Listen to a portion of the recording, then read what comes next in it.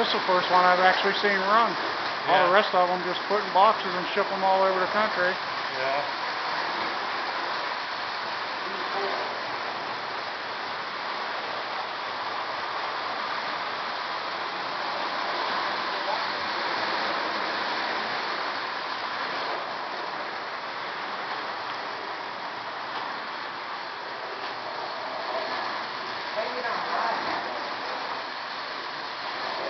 Ha ha ha.